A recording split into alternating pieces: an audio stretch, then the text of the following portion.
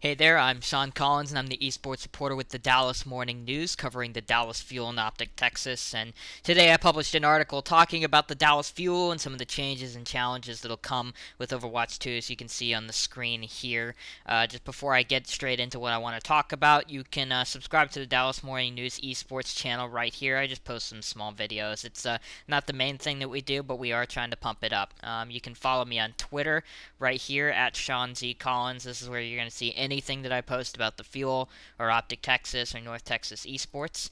Uh, if you want to subscribe to the Dallas Morning News, you can do so for free for the first month with that code right there, Sean C. And then I believe it is pretty cheap after that for the first three months. Um, but yeah, I. I spoke with uh, with Rush and Edison and Guriyo and ChiYo uh, over the past couple weeks. Um, and I, I did want to just like talk a little bit because there have been uh, some reports coming out that uh, Overwatch League teams will get uh, a beta version of Overwatch 2 here in a couple weeks, which would give them about two months to play on it before the season starts, which, to be honest, is a little bit better than I thought it was going to be. I didn't really know what it was going to look like, but um, if that is uh, true and officially confirmed, I was unable to confirm it today with an Overwatch League spokesperson, but if that is confirmed, then Overwatch League teams will have uh, about two months to play on it. And I got to talk with Rush just a little bit about Overwatch 2, and he says, listen, like all the teams are in the same spot right now. Uh, they just want the game to come out fast so that they can play it. Uh, you know, the play test over at, at, during the grand finals of the 2021 season was not enough time and hardly enough to understand the game.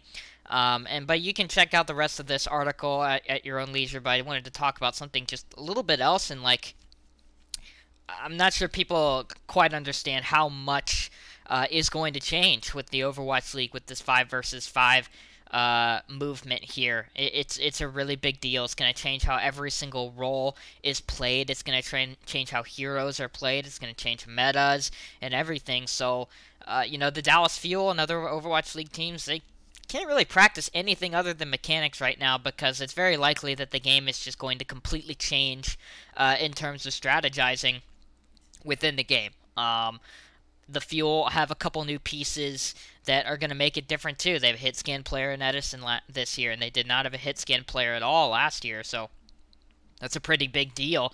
Uh, the the things that the Fuel were doing last year, and you know they might not be able to do it with a Cassidy or a Widowmaker in the lineup.